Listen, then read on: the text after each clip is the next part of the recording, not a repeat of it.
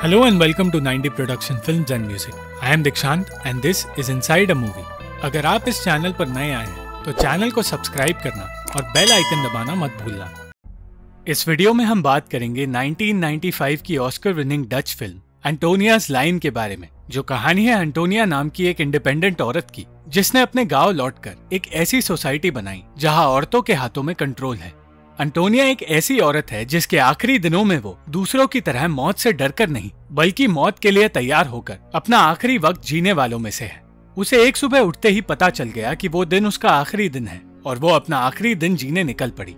हर रोज की तरह एक नॉर्मल दिन बिताते हुए उसे अपना अतीत याद आ गया, जहाँ वो वर्ल्ड वॉर टू के खत्म होने के बाद अपनी बेटी डानियल के साथ अपने गाँव लौट कर आई, जिसे वो 20 सालों पहले छोड़कर निकल गई थी। अंटोनिया अपनी माँ के घर गई, जो दिमागी तौर से परेशान थी और हर वक्त चिल्लाती और गालियाँ देती थी, मगर अंटोनिया के लिए ये कोई नई बात नहीं।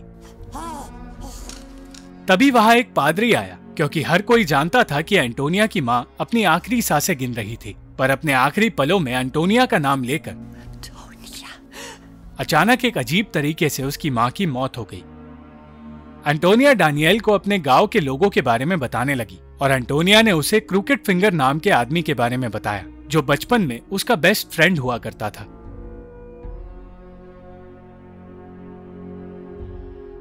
इसके बाद वो उसे मैड मडोना के घर के पास ले गई और बताया कि वहाँ खड़ा आदमी सालों से मैड मडोना से परेशान है और वो एक प्रोटेस्टेंट है, यानी कि एक आदमी जिसने चर्च छोड़ दिया। गाँव के अलग अलग लोगों के बारे में बताने के बाद वो लोग एंटोनिया की माँ के फ्यूनरल के लिए चर्च पहुँचे। डानियल अपनी इमेजिनेशन में खोई रहती है और इसी इमेजिनेशन की वजह से उसे अजीबो गरीब चीज़ें दिखाई देती हैं। एंटोनिया को चर्च में हो रही चीज़ें बकवास लगती है और यही उसने पादरी के सामने कह दिया, जिसे सुनकर वो एंटोनिया से चिढ़ने लगा। एंटोनिया अपनी बेटी को लेकर बार में गई, जहाँ सिर्फ़ मर्द मौजूद थे। उन मर्दों में से एक बदतमीज आदमी दान एंटोनिया के लौटने पर उसे ताने मारने लगा। और कहने लगा कि उसके दोनों बेटे एंटोनिया की बेटी से शादी करने के लिए तैयार है। वो दूसरी औरतों के साथ साथ अपनी खुद की बेटी, डीडी से भी बदतमीजी करता है, जिसे वो ज़बरदस्ती सबके सामने शर्मिंदा करने लाया और दान और उसके बेटे को रोकने का काम बास नाम के एक किसान ने किया। जल्द ही एंटोनिया और डानियल उस गाँव का हिस्सा बन गए और वो क्रिकेट फिंगर से भी मिलने जाया करते थे। मैड मडोना हर पूर्णिमा की रात को चाँद की तरफ़ देखकर चीखती है, जिससे प्रोटेस्टेंट परेशान हो चुका था। पर चाहकर भी वो कुछ कर नहीं पा रहा था। कुछ दिनों बाद अंटोनिया ने देखा कि दान के लिए काम कर रहे लड़के विलम को कुछ बच्चे परेशान कर रहे हैं। एक तरफ़ जहाँ दान इस बात पर हंस रहा था तो दूसरी तरफ़ अंटोनिया ने उन बच्चों को सबक सिखाया। और तब विलम ने डान को छोड़कर एंटोनिया के लिए काम करना शुरू कर दिया। विलम चाहे दिमागी तौर से कमज़ोर हो, पर वो जानता था कि कौन सा इंसान अच्छा है और कौन सा बुरा। बास को उस गाँव में आए सिर्फ़ 20 साल हुए थे, जिस वजह से वो गाँव वालों से अलग था और एक तरह से गाँव में नया था। उसे एंटोनिया की स्ट्रॉन्ग पर्सनालिटी और उसके तौर तरीके पसंद थे, इसलिए वो उसकी इज़्ज़त करता था। दान जैसे लोगों के अलावा कुछ ऐसे लोग भी थे जो एंटोनिया को खुश रखते थे, पर वो और डानियल जानते थे कि उस गाँव में मर्द औरतों की आवाज़ दबाते हैं और उनमें से सबसे बुरे थे दान और उसके बेटे। जिनकी हरकतें डानियल ने अपनी आँखों से देखी एक रात अंटोनिया के घर बास आया और अंटोनिया से कहने लगा कि क्योंकि अंटोनिया एक विधवा है और उसकी भी पत्नी की मौत हो चुकी है वो अंटोनिया से शादी करना चाहता है। उसका कहना था कि उसके बेटों को एक माँ की ज़रूरत है, पर अंटोनिया ने कहा कि उसे बेटों की या एक पति की ज़रूरत नहीं। उसने बास से कहा कि अगर वो चाहे तो वक्त वक्त पर घर आ सकता है और अंटोनिया का उसके काम में हाथ बटा सकता है। इस तरह बास अपने बेटों को लेकर अंटोनिया के घर आने लगा, जहाँ बार मैनेजर ओल्गा और पादरी का असिस्टेंट भी आया करते हैं। एंटोनिया और बास एक दूसरे को पसंद करने लगे थे, पर एंटोनिया इससे ज़्यादा बास से और कुछ नहीं चाहती थी। एक दिन अपना कुछ सामान लेने डानियल डान के घर के पास गई और तब उसने देखा कि डान का बेटा पीते अपनी ही बहन के साथ ज़बरदस्ती कर रहा है। उसे देखकर गुस्से में डानियल ने उस पर हमला कर दिया। और डीडी को बचाकर वहाँ से अपने घर ले आई। एंटोनिया ने डीडी का ध्यान रखना शुरू कर दिया और उसे अपने घर में ही रखने लगी। और इस बात से डीडी की माँ बहुत खुश थी। गाँव के सारे लोग ये सारी सच्चाई जानते थे, पर आज तक किसी ने डान और उसके परिवार के खिलाफ कोई आवाज़ नहीं उठाई। कुछ ही दिनों बाद पीते अपना घर छोड़कर चला गया और दुनिया की नज़रों से गायब हो गया। जल्द ही डीडी और विलम को एक दूसरे से प्यार हो गया। डानियल एक आर्टिस्ट बनना चाहती थी और इसलिए अपने आसपास के हर इंसान और चीज़ों को तस्वीर में उतारने लगी। एंटोनिया ने उसे पढ़ाई के लिए बड़े शहर भेज दिया और एंटोनिया अपने खेतों को संभालती रही। देखते ही देखते कुछ साल गुजर गए और डानियल घर वापस आई और घर आते ही उसने अपनी माँ से कहा कि वो एक बच्चा चाहती है। एंटोनिया और क्रिकेट फिंगर ने उसे शादी करने के लिए कहा, पर डानियल को सिर्फ़ बच्चा चाहिए था, एक पति नहीं। उसके इस फैसले से एंटोनिया सहमत थी, पर जानती थी कि इस गाँव के मर्द बच्चे के लिए सही नहीं। कुछ दिनों बाद वो डानियल के इस काम के लिए सही मर्द ढूँढने शहर गई। और वो और डानियल एक ऐसे घर पहुँचे जहाँ सिर्फ़ प्रेग्नेंट औरतें रहती हैं। वहाँ मौजूद औरत लेटा से बात करके उन्होंने एक आदमी को ढूंढा जो डानियल को प्रेग्नेंट करेगा। वो लेटा का भाई ही था और डानियल ने उससे मिलने के बाद उसे इस काम के लिए चुन लिया। वो दोनों होटल गए और अपना काम पूरा कर डानियल लौट कर आ गई। घर वापस आने पर चर्च का पादरी एंटोनिया के खिलाफ बातें करने लगा और पाप और पुण्य की बातें करते हुए वो एंटोनिया और डानियल को सबके सामने ताने मारने लगा।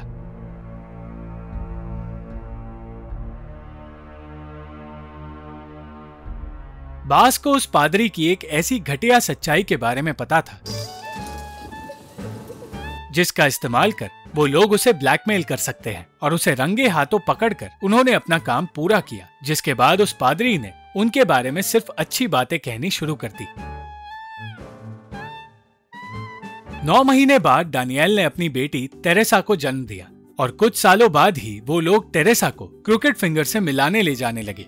क्रिकेट फिंगर एक जीनियस था और उसे टेरेसा की बातों से समझ आ गया कि दुनिया से ज़्यादा टेरेसा को उसकी बातें समझ आती है और इसलिए वो और टेरेसा एक दूसरे के बेस्ट फ्रेंड्स बन गए। पादरी के असिस्टेंट ने जल्द ही चर्च छोड़ दिया, क्योंकि वो अपनी ज़िंदगी आज़ादी से जीना चाहता था।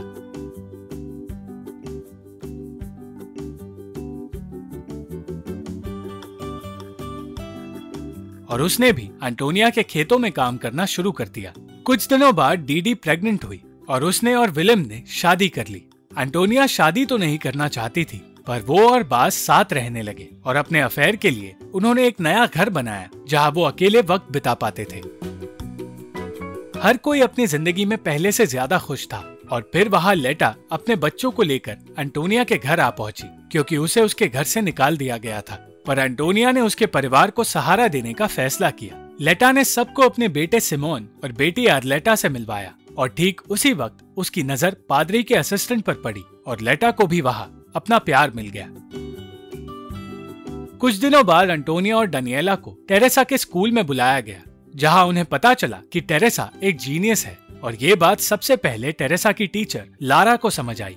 लारा का कहना था कि उन्हें टेरेसा की एक्स्ट्रा क्लासेस शुरू करनी चाहिए, और इस बात से सबसे ज़्यादा खुश डानियल थी, क्योंकि वो लारा को पसंद करने लगी थी। कुछ ही वक्त में लारा टेरेसा को पढ़ाने, उनके घर आने लगी। पर टेरेसा से ज़्यादा डानियल उसके साथ वक्त बिताने लगी और एंटोनिया को समझ आ गया कि उसकी बेटी को प्यार हो गया है। जल्द ही डानियल और लारा का अफेयर भी शुरू हो गया। उस साल हर जगह प्यार फैला हुआ था, पर दो ऐसे लोग थे जिनका प्यार पूरा नहीं हो पाया। मैड मडोना की हार्ट अटैक से मौत हो गई। और कुछ वक्त बाद उससे प्यार करने वाले प्रोटेस्टेंट की भी मौत हो गई। वो दोनों अपनी पूरी ज़िंदगी में कभी एक साथ नहीं रहे, पर मौत के बाद उन्हें एक ही कब्र में दफनाया गया।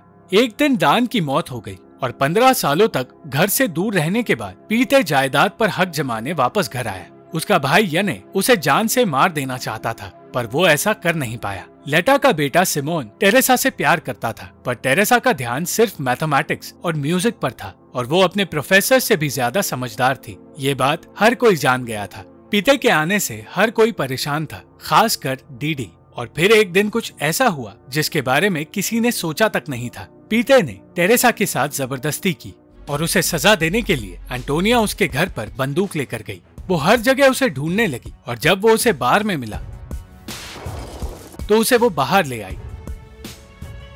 उसने सबके सामने उसे श्राप दिया और कहा कि अगर वो वापस आया तो वो सड़ सड़ कर मरेगा और हमेशा के लिए बर्बाद हो जाएगा। इसके बाद उस गाँव के मर्दों ने पीते को बुरी तरह पीटा और जब वो अपने घर वापस गया तो उसने अपने भाई से मदद मांगी, पर यने ने उसकी मदद नहीं की, बल्कि उसे डुबाकर मार डाला। अंटोनिया पूरी तरह टूट गई थी और दूसरी ओर टेरेसा को क्रिकेट फिंगर और सिमोन में सहारा मिल गया। कई साल गुजर गए, पर 20 साल की उम्र होने तक भी टेरेसा ठीक नहीं हुई। वो बहुत से लड़कों से मिली जिनके साथ रहने की उसने कोशिश की, पर कोई भी उस जितना समझदार नहीं था, और इसलिए उसे कोई भी पसंद नहीं आया।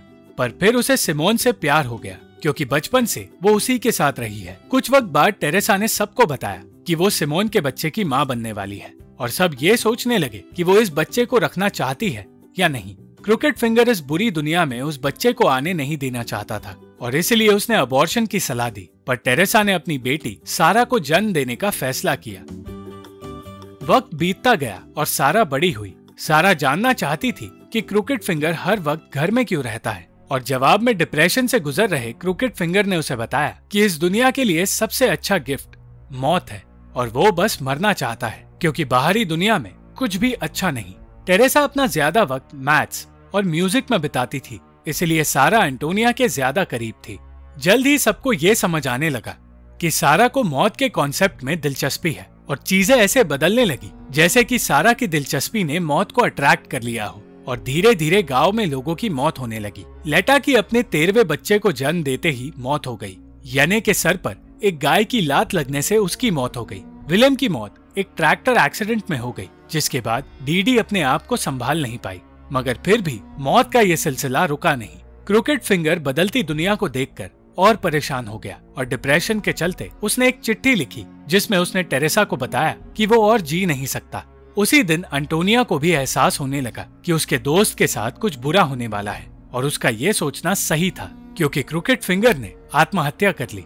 सारा ने पहली बार अपनी माँ को रोते हुए देखा और वो कई दिनों तक टेरेसा को संभालती रही। पर टेरेसा क्रिकेट फिंगर की मौत के बाद बिल्कुल अकेली हो गई और अपनी बेटी को ऐसे देखकर डानियल परेशान होने लगी। सारा ये सोच रही थी कि अब उनमें से सबसे पहले किसकी मौत होगी। एंटोनिया ने कहा कि उसका वक्त सबसे पहले आएगा, पर जाने से पहले वो सारा को बता कर जाएगी, इसलिए उसे फ़िक्र करने की कोई ज़रूरत नहीं। सारा को समझ आने लगा कि वक्त किसी के लिए नहीं रुकता, चाहे वक्त के सामने मौत हो या विकास, और हम अक्सर ये बात भूल जाते हैं। सारा की आँखों के सामने अब वो लोग आने लगे थे जो या तो वक्त के साथ बदलते गए, या फिर बूढ़े हो गए, या दुनिया छोड़कर चले गए। और उन लोगों के बीच एंटोनिया भी थी, जो आज जानती थी कि उसका आखिरी दिन आ चुका है। और उसने सारा को अपने पास बुलाकर उसे यही बात बताई और कहा कि आज उसका आखिरी दिन है। उसी रात उसने अपने सारे करीबी लोगों को अपने पास बुलाया, ताकि वो सब उसके आखिरी पलों में उसके साथ रहे और उन्हीं के बीच रात गुजार कर अगली सुबह सूरज उगने के साथ ही उसकी मौत का वक्त भी आ गया। और इसी तरह सारा ने अंत में आखिरकार मौत को करीब से देख लिया। Thank you for watching the video अगर आपको ये वीडियो पसंद आई तो लाइक शेयर और कमेंट ज़रूर करना। और चैनल को सब्सक्राइब करना मत भूलना।